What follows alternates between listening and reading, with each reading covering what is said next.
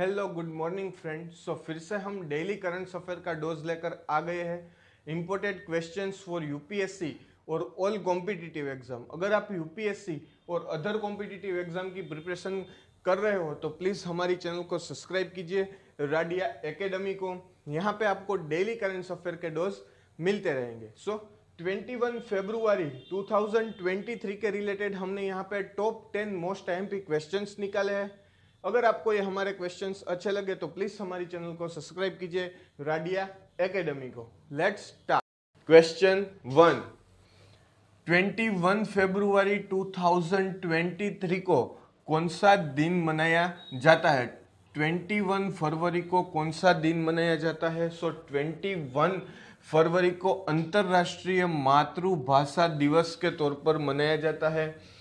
और U N E S C O ने U N E S C O ने सन 1999 में 1999 में ये घोषणा की थी कि 21 फरवरी को अंतरराष्ट्रीय, अंतर्राष्ट्रीय मातृभाषा दिवस यानी कि इंटरनेशनल मदर लैंग्वेज डे के तौर पर सेलिब्रेट किया जाएगा।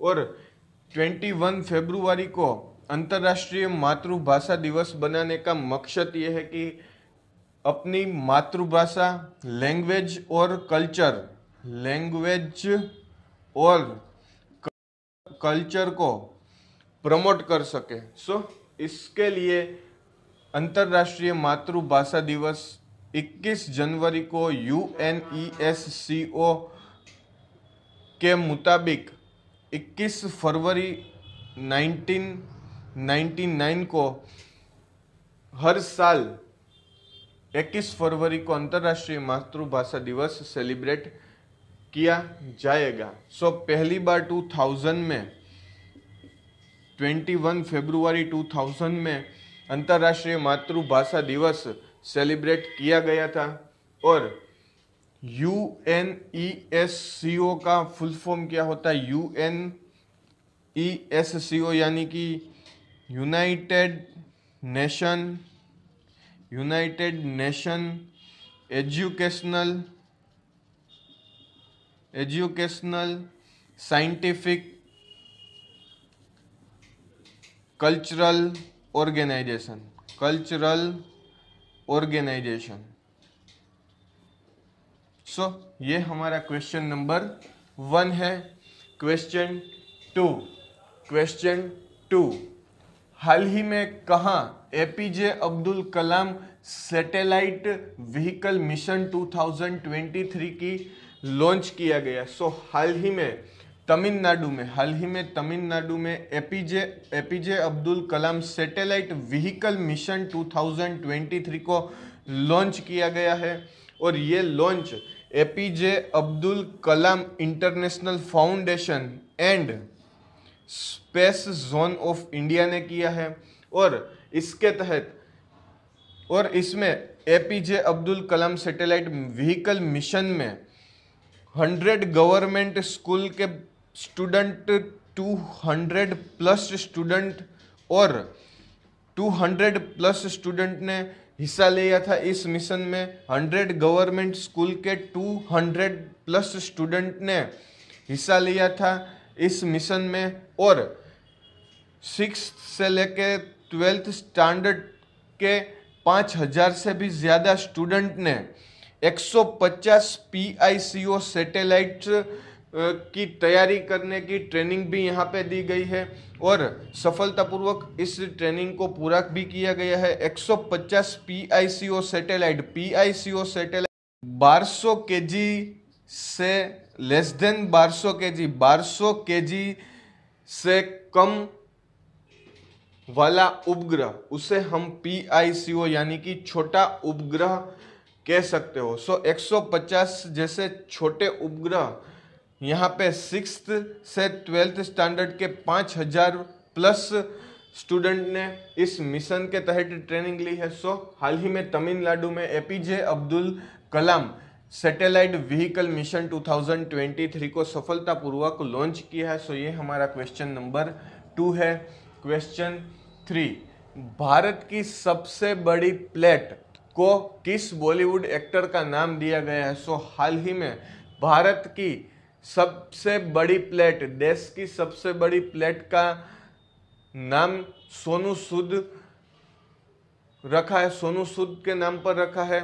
और ये प्लेट भारत की सबसे बड़ी प्लेट जिसमें जेल मंडी नामक होटल में बनाई गई है और वो होटल हैदराबाद स्थित है। सो हाल ही में सोनू सूद के नाम पर भारत की सबसे बड़ी प्लेट का नाम रखा गया है, सो ये हमारा क्वेश्चन नंबर थ्री है।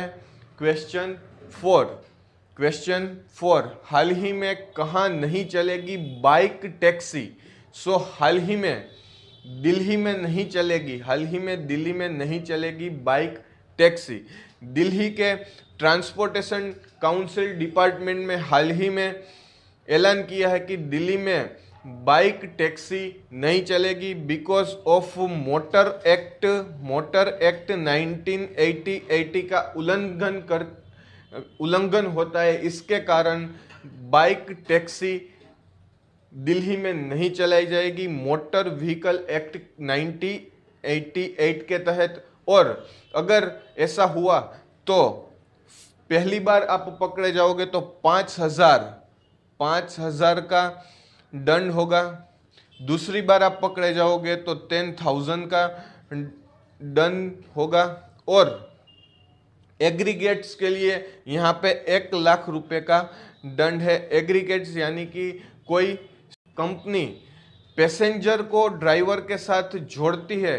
सो उसे एक एग्रीगेट्स यानी कि एक समूह, एक ऑर्गेनाइजेशंस को एग्रीगेट कहते हैं। एग्रीगेट ने अगर ये व्हीकल एक्ट तोड़ा तो एक लाख रुपए का जुर्माना होगा पहली बार कोई सामान्य नागरिक ये ऐसा करता है तो पाँच हज़ार और दूसरी बार दस हज़ार का जुर्माना होगा सो ये हमारा क्वेश्चन नंबर फोर है क्वेश्चन फाइव बाफाज अवार्ड 2023 में किसने जीता कौन सा award B A F A S BAFTAs award में। सो हाल ही में British Academy Film Award British Academy Film Award जिसे बाफास के नाम से जाना जाता है, British Academy Film fair award हाल ही में, लंदन में, हाल ही में लंदन में 19 फरवरी को 19 फरवरी को हुआ था। 19 फरवरी को लंदन में ब्रिटिश एकेडमी फ़िल्म अवार्ड हुआ था, जिसमें यहाँ पे बेस्ट फ़िल्म से लेके बेस्ट एक्टर एक्ट्रेस तक किसको यहाँ पे अवार्ड मिला है, वो हमने यहाँ पे लिस्ट प्रोवाइड की है। फ़र्स्ट यहाँ पे All Quiet on the Western Front All Quiet on the Western Front नामक फ़िल्म को यहाँ पे बेस्ट फ़िल्म का अवार्ड मिला है। B B A F S में बेस्ट फ़िल्म का award All Quiet on the Western Front को मिला है। और बेस्ट डायरेक्टर का अवार्ड बेस्ट डायरेक्टर का अवार्ड यहाँ पे एडवर्ड बर्गर को मिला है। एडवर्ड बर्गर को हाल ही में बेस्ट डायरेक्टर का अवार्ड मिला है और एडवर्ड ने All Quiet on the Western Front बनाई है। उसके वो डायरेक्टर है उस फ़िल्म को बेस्ट फ़िल्म का अवार्ड भी मिला और उस डायरेक्टर को बेस्ट डायरेक्टर का भी अवार्ड मिला है। सो यहाँ पे यह इम्पोर्टेंट क्वेश्चन है। और उसके बाद कैट कैट बालचेट को best actress for Tar best actress for Tar film के लिए बेस्ट एक्ट्रेस का अवार्ड मिला कैट बालकेट को और उसके बाद ऑस्टिन बटलर को ऑस्टिन बटलर को बेस्ट एक्टर फॉर एलविस का अवार्ड मिला। So B F S award में यहाँ पे best film best director best actress best actor का नो एक्टर का जो अवार्ड मिला है वो हमने यहाँ पे शॉर्टलिस्ट किया है। सो ये हमारा क्वेश्चन नंबर फाइव है। Question six. क्वेश्चन सिक्स दुनिया भर में तीसरी सबसे तीसरी सबसे अधिक कमाई करने वाली फ़िल्म कौन सी है? सो so, अवतार अवतार two. Avatar two. Avatar the way of the wonder. दुनिया की सबसे अधिक कमाई करने वाली फ़िल्म है और उसका collection box office collection 2.244 billion 2.244 billion, यानी कि इंडियन रुपीस में 185 अरब अरब का कलेक्शन करके वो दुनिया की तीसरी सबसे कमाई करने वाली फ़िल्म बन गई है, अवतार द वे ऑफ़ वाटर और और trade trade analysis trade analytic Ramesh Bala. Trade analytic Ramesh Bala के मुताबिक, अवतार 2009 में जो फ़िल्म आई थी फ़र्स्ट अवतार, उसने 2.923 बिलियन की कमाई करी है और 2.923 बिलियन यानी कि 241 अरब कलेक्शन के साथ वो दुनिया की सबसे अधिक, सर्वाधिक कमाई करने वाली फ़िल्म है। नंबर वन पे अवतार 2009 उसके बाद यहाँ पे एवेंजर्स एंड गेम आती है। Avengers end game 2.799 billion 2.799 billion यानी कि 2.231 अरब करोड़ के अरब अरब के साथ ये सेकंड सर्वाधिक कमाई करने वाली फ़िल्म है और थर्ड फ़िल्म हाल ही में बनी है अवतार। एक सौ पचासी अरब का उसका कलेक्शन है। सो so, ये हमारा क्वेश्चन नंबर सिक्स है। क्वेश्चन सेवन क्वेश्चन सेवन उत्तर भारत का पहला परमाणु संयंत्र किस राज्य में होगा स्थापित?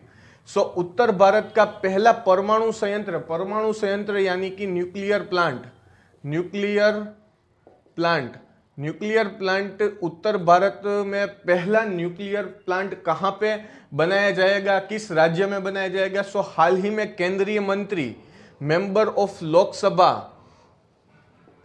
जितेंद्र सिंह जितेंद्र सिंह ने हाल ही में बताया गोरखपुर, हरियाणा के गोरखपुर में, हरियाणा के गोरखपुर में उत्तर भारत का, उत्तर भारत का पहला nuclear plant nuclear plant developed करेंगे। और इससे पहले दक्षिण साउथ इंडिया में, साउथ इंडिया में तमिलनाडु और तमिलनाडु और आंध्र प्रदेश में न्यूक्लियर प्लांट डेवलप हो चुके हैं। पश्चिम इंडिया में, पश्चिम भारत में, यहाँ पे महाराष्ट्र में भी न्यूक्लियर प्लांट का डेवलपमेंट है। उत्तर भारत में गोरखपुर, हरियाणा में पहली बार परमाणु संयंत्र यानी कि न्यूक्लियर प्लांट डेवलप होगा। सो ये हमारा question number question eight retired brigadier B D Mishra ने हाल ही में कहा उप राज्यपाल के, पाल के तौर पर शपथ ली? सो हाल ही में बी डी मिश्रा ने लद्दाख के उप राज्यपाल lieutenant government of Ladakh Ladakh के उप राज्यपाल के तौर पर बी डी मिश्रा ने हाल ही में शपथ ली है और chief justice of Jammu Kashmir and Ladakh high court N Koteshwar Singh ने बीडी मिश्रा को लद्दाख के उप राज्यपाल के तौर पर शपथ दिलाई है और इससे पहले लद्दाख केंद्र शासित, लद्दाख के केंद्र शासित होने के बाद से पूर्व आईएएस पूर्व आईएएस ऑफिसर राधा कृष्णम माथुर राधा कृष्णन माथुर लद्दाख के लद्दाख के उपराज्यपाल थे। इसके बाद हाल ही में बी डी मिश्रा उप राज्यपाल बने लद्दाख के। सो ये हमारा क्वेश्चन नंबर एट है। क्वेश्चन नाइन हाल ही में किस कंपनी हाल ही में किस कंपनी ने लॉन्च की paid blue tick blue tick service so हाल ही में फेसबुक इंस्टाग्राम की पेरेंट कंपनी मेटा ने हाल ही में मेटा वेरिफिकेशन नाम, नामक प्रोजेक्ट लॉन्च किया है मेटा वेरिफिकेशन। और ये मेटा वेरिफिकेशन एक सब्सक्रिप्शन सर्विस है। ये एक सर्विस है जो सब्सक्रिप्शन है। आपको पैसे देकर ये सर्विस को खरीदना होता है।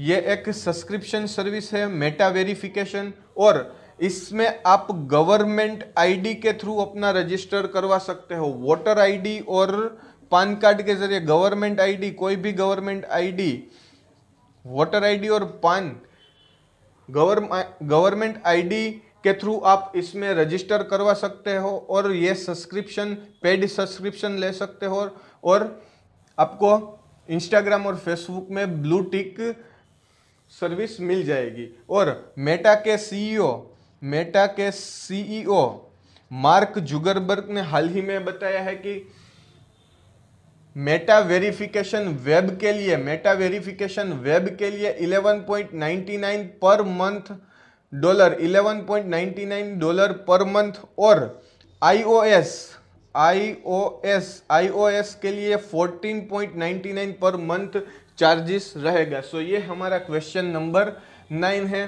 क्वेश्चन टेन क्वेश्चन टेन हाल ही में कौन सी पाँच कंपनियाँ का बाज़ार पूंजीकरण पिछले सप्ताह पिछले सप्ताह 95,000 करोड़ से अधिक रहा है? सो हाल ही में Reliance industry Reliance industry company का रिलायंस इंडस्ट्री का पिछले सप्ताह बाज़ार बाज़ार पूंजीकरण सत्रह हज़ार करोड़ सेकंड नंबर पर है आईसीआईसी बैंक, एचडीएफसी और आईटीसी और एयरटेल।